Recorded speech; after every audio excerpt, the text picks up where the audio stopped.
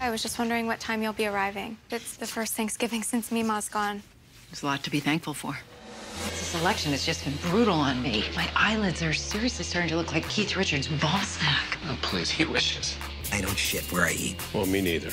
Not since my wife caught me eating yogurt on the crapper. Once I'm in, I'm in.